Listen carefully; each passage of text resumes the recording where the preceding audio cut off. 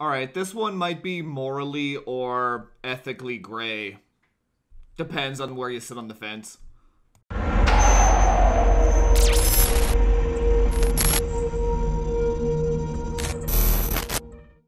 Hey guys, welcome to Frame Chasers. And today, uh, I'm going to be showing you how to shunt mod your video card without voiding your warranty. So I figured everyone already knew about this, but uh, I had a viewer of mine that requests that I do this on video. So that's why I'm going to be showing this to you guys today.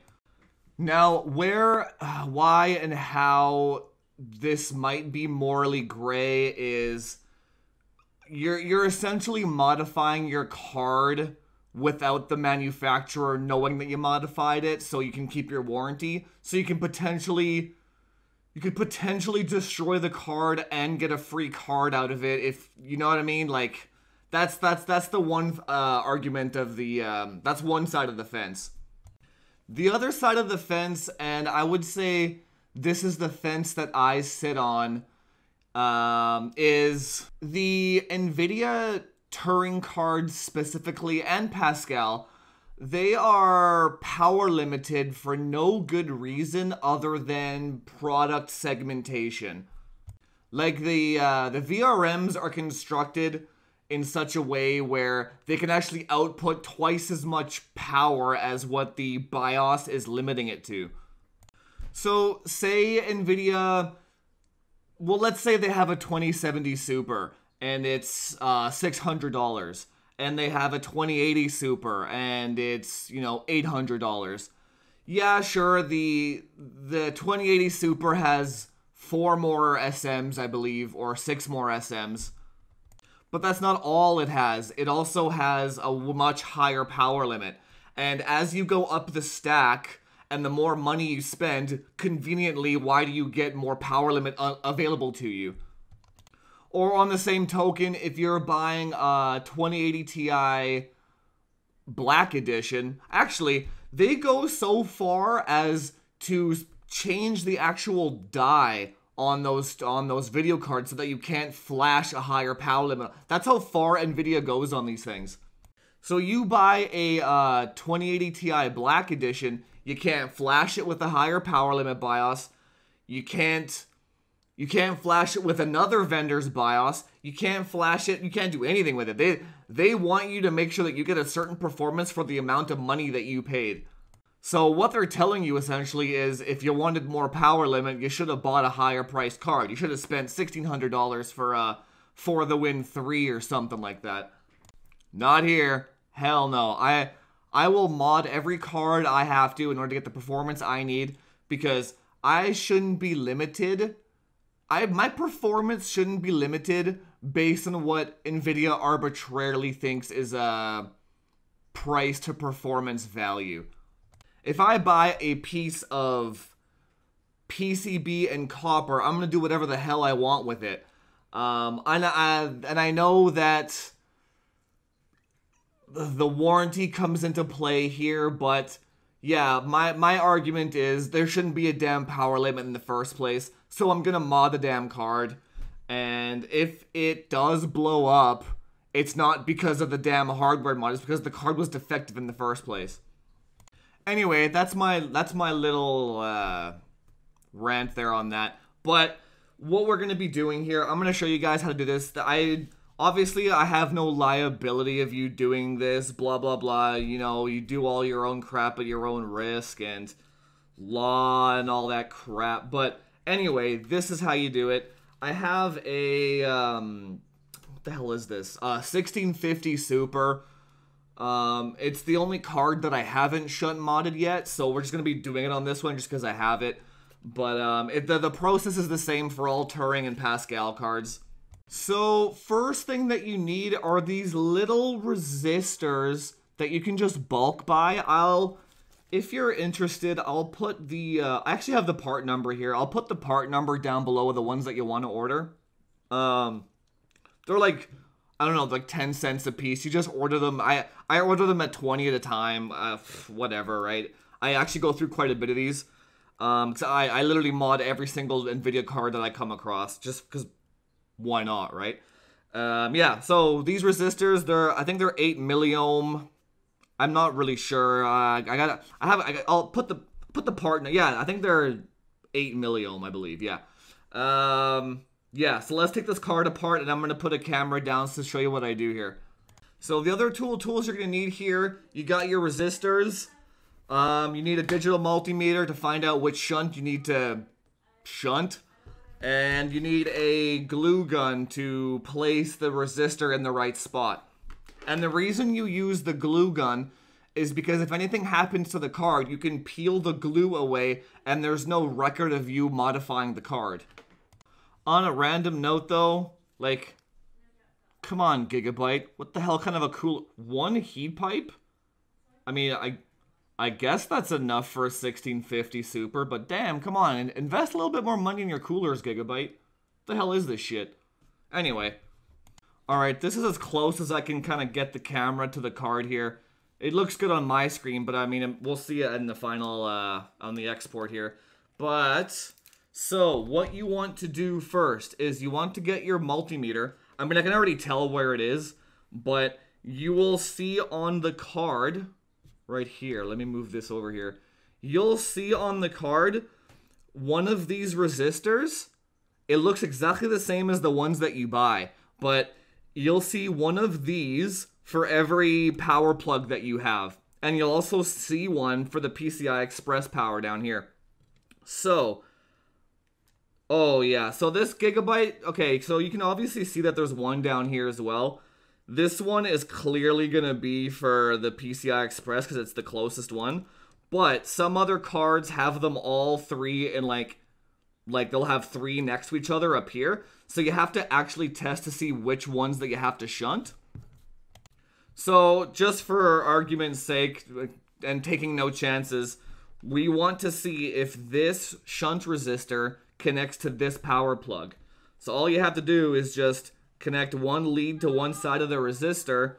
Other side, uh, yeah, here we go. It's always going to be the top three here. If it's an 8 pin, the, the two on the left here aren't going to read anything. It's always going to be the three power ones. And the other, um, the other five pins are your ground, so they're not going to show up. But, so if I put the lead here and here, my uh, my digital multimeter reads zero ohms, which means that this this leg of this power connector is directly tied to this resistor. So this is the one that we're gonna want to shunt. On the flip side, if I put a lead here on this shunt and one on the very left of the PCI Express leg, zero ohms. So I know this one is directly connected. I mean, obviously, this is the closest and that's the closest, but you kind of get the idea. So if you had three of them here, you would have to test all three and see which two connects to the two uh, uh, power plugs here. And that's how you know which one you have to shunt.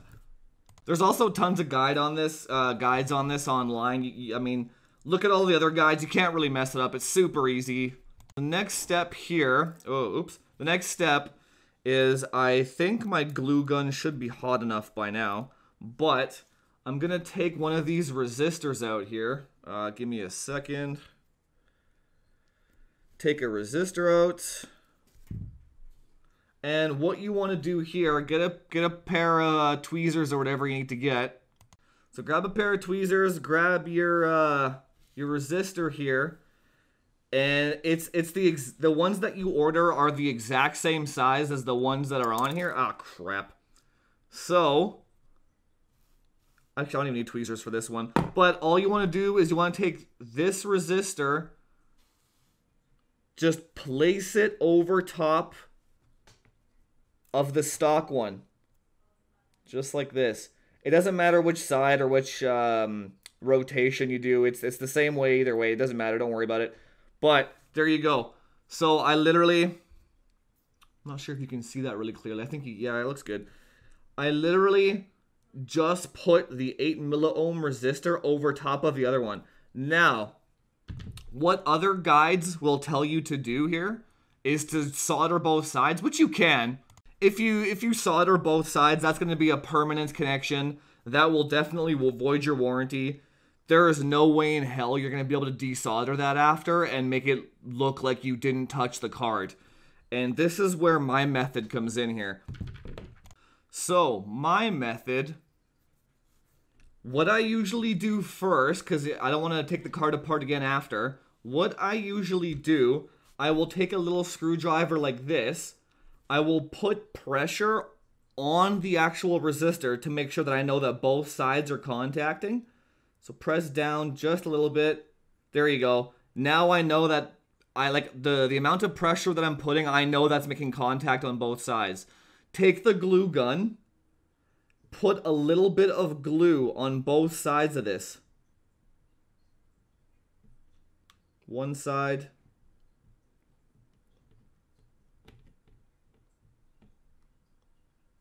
Two sides.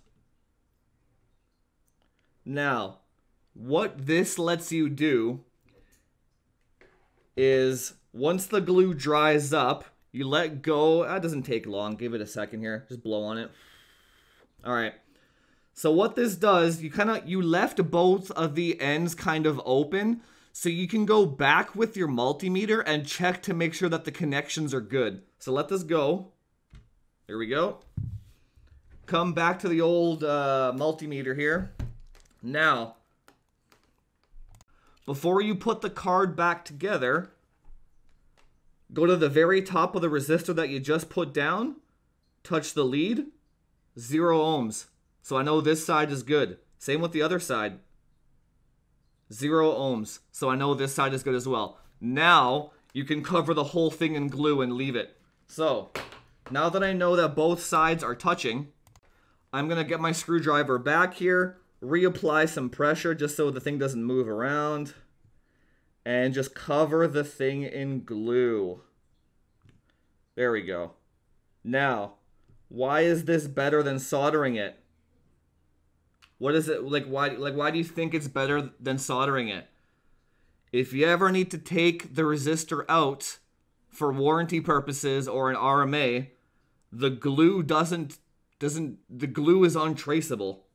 The like the the glue gun is so soft that you can peel it off and take the resistor off and there's never any evidence of you ever being in here. And uh, you're allowed to take the uh, the cooler off to repaste your card. So you have it. You have a reason for taking the cooler off, and you you have you were never here. You were like you know what I mean. If you have to RMA uh, RMA a card in the future, so what this does, it, uh, oh, also, what quick point, you can't just put a wire over top of it. NVIDIA, with this generation uh, Turing cards, there's a fail-safe that if it doesn't detect a resistance here at all, it'll just put the card in safe mode and you won't be able to go over 300 megahertz. So you actually have to use these little resistors that I'll I'll uh, I'll put in the description. You have to use these ones to get your shunt mod to work. But this essentially increases your power limit by, um, oh God, I'm not sure, 50%? It's, it's like, it makes it so you won't hit the power limit with the card while you're gaming. Anyway, that's that's what you want. Anyway, I mean, I guess I'll leave the card like this. I'm gonna do some, uh, I'll do some benchmarks with it in the future just to see how far a 1650 can go. But, uh, 1650 Super. But yeah, the only reason I bought this was for the uh, Turing and uh, the encoder for uh, my stream. But um, yeah, I mean, maybe it'll push some good numbers. Who knows? But uh, I'm gonna wipe the paste off, put some Kryonaut on it, put it back together, and I'll be back. All right, there we go. So back together now. Um, I'll do some benchmarks another time, but you might ask what made me think of doing this in the first place.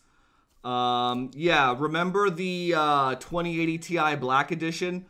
I when they when the 2080 Ti's first came out, I refused to pay twelve hundred dollars for a Founders Edition one, or twelve hundred dollars for uh the XC or or like a Asus one, just an aftermarket one, right? I waited for the base models to come out. So when EVGA posted on their website, um, 999 for a base model one, like a black one, I jumped on that one. So I'm thinking, damn, I'd saved $200 and I'll just order an EK water block even if the cooler does suck. and then I'll just run it in, in, a, in a loop and I'll get my performance that way. You can imagine how pissed off I was when I got the card and I couldn't boost it past 1700 megahertz. Um, because they locked the power limits down so hard and you can't actually flash that chip because it's a TU102 dash like non A. Like you can't flash those ones.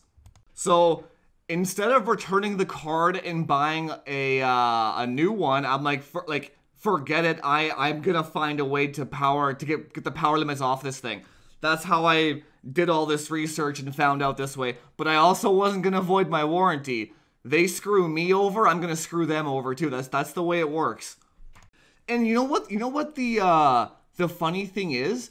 EVGA, like the the one that I have, actually has Samsung um, memory chips on it, and they overclock to 16 gigabits a second. So like, and that's the same one in that video that does 2200 megahertz.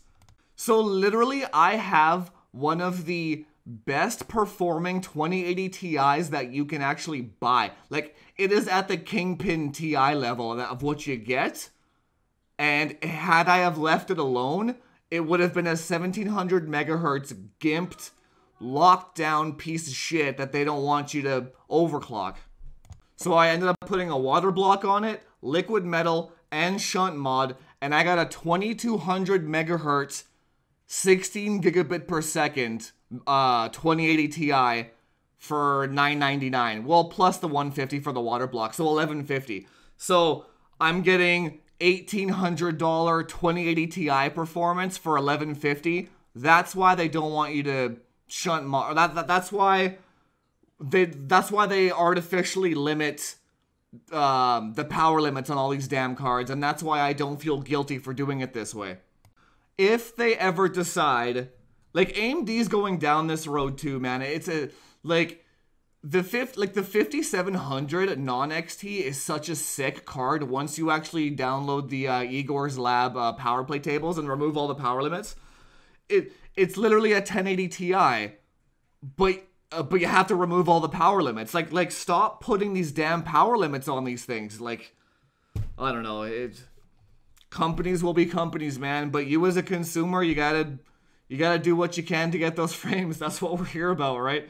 It's also the same thing, like taking the older Intel Xeons and like covering some of the pins on the back to unlock the multiplier and stuff. Like, like stop stop trying to lock down your users and then maybe they won't have to come up with all this crazy shit to try and get performance out of the things that they purchased. You know what i mean? As the purchaser you shouldn't be locked down by all this nonsense because they just want more money out of you Hell no, nah, man. You put that resistor on, you glue it on, and if it breaks, you send it back, and you do it 10 times if you have to. Get them to stop power limiting your shit. Anyway, that's it for this one. Hope you guys learned something. If you liked the video, please subscribe. Um, and again, you have your own liability for all this crap. I'm just showing you um, how to shunt mod your card safely. Not damage anything, you know, know what I'm saying? Um, yeah, hopefully you learned some. Do all that YouTube SEO stuff. Like, share, subscribe, all that yada yada yada. And I will see you guys in the next one. Chase those frames. Talk to you later.